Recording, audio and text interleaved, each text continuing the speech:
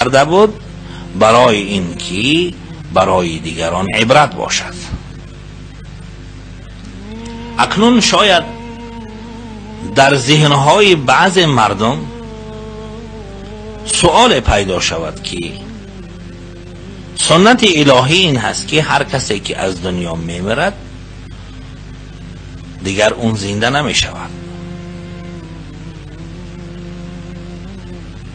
اما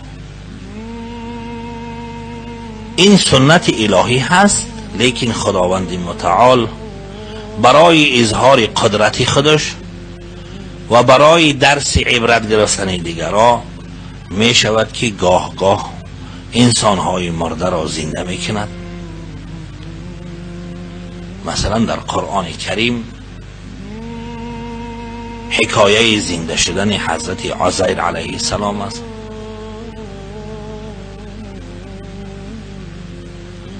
فأماته الله مئة عام ثم بعثه. بعد از صد سال مردن دوباره او را زنده کرد. قال کم لبثت؟ قال لبثت یوما او بعض یوم. قال بل لبثت مئت عام. خدا از او پرسید که چند روز زندگی مرده بودی؟ چند روز گذشت؟ گفت یک روز. او بعض یوم یا کمتر از یک روز. الله رب العالمین فرمود که بل لبثت مئت عام صد سال گذشت این چنین همه ما و شما آگاهی داریم که حضرت عیسی علی نبینا و علیه السلام به طور معجزه بعضی از مردم ها را به اذن الهی که مرده بودن و پوسیده بودن اونها را زنده می‌کرد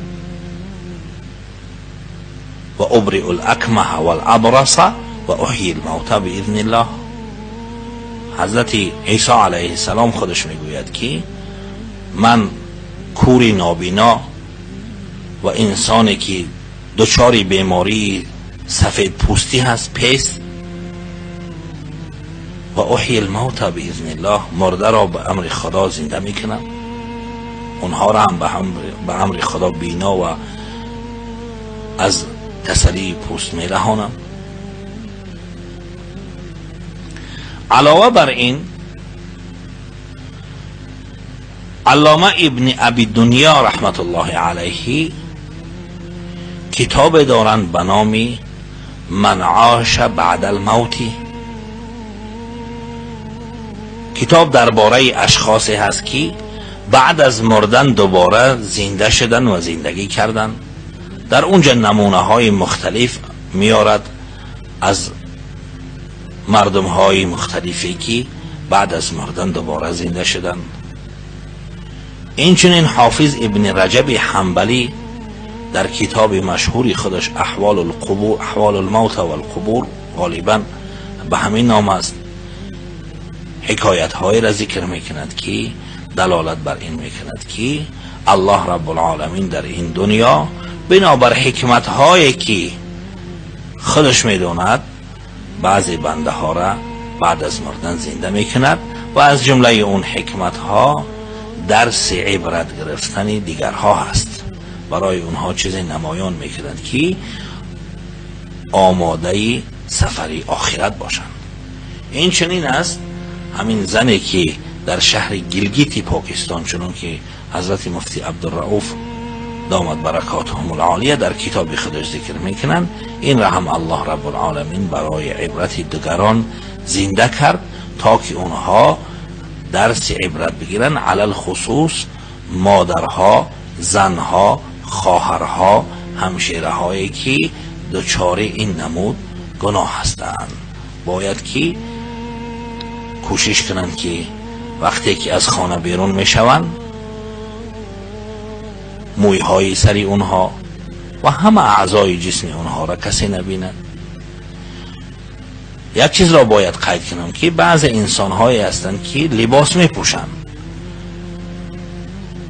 اعضای اونها نمایان نیست. یگان کشف عورت شدگی نیست. لباس فرا گرفتگی ای. اما اون لباس از نگاه شریعت نادرست هست. به دو سبب. بعضی لباس هایی هستند که به اندازه تنک هستند.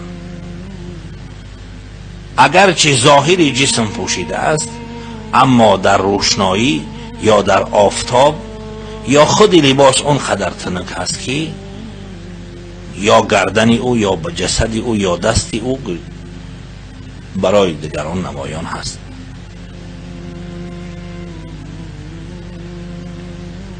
یا اینکه لباس دارند که تنگ نیست. اما اون قدر تنگ جفس هست که بعض از اندام ظاهری اونها نمودار هست. از این نمود لباس ها هم رسول خدا صلی الله علیه و سلم منع فرمودن و فرمودن که این نمود زنهایی که کاسیات و عاریات گفتند به ظاهر پوشیدگی لیکن در حقیقت اینها لچ هستند. این نمود زنها را فرمودند که اینها هم در آتش دوزخ می سوزند